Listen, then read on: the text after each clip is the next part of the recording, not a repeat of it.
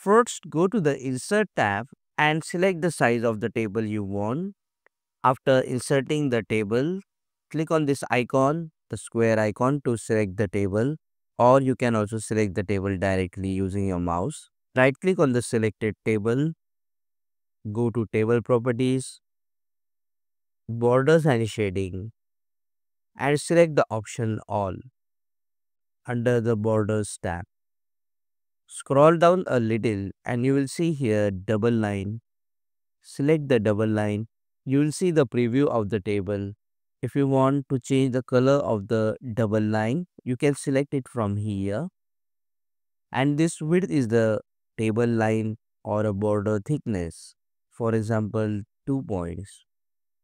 And now you need to select here what type of borders do you want so we want all type of borders. So we will just select everything. This one the center bottom left inside the table and outside the table.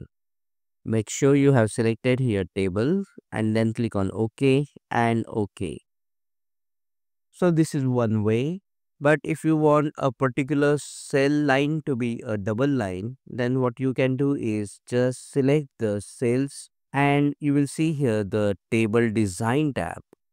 You need to select the border style, for example, double here in this case.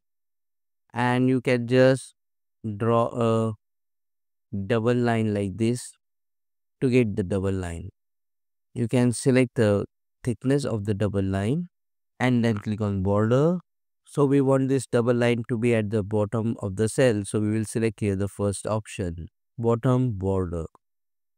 So like this, you can insert double line table in Word and customize the table double line border. Click on that like button, comment below and let me know if this video solved your problem. And don't forget to check out these useful videos if you want to learn more about Microsoft tables in Word. See you again in the next one.